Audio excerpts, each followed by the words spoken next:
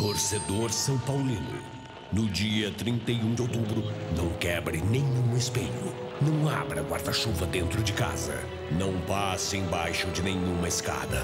Não cruze com gato preto, porque dia 31 é Halloween. E tem Universidade Chile e São Paulo pela Copa Bridgestone Sul-Americana.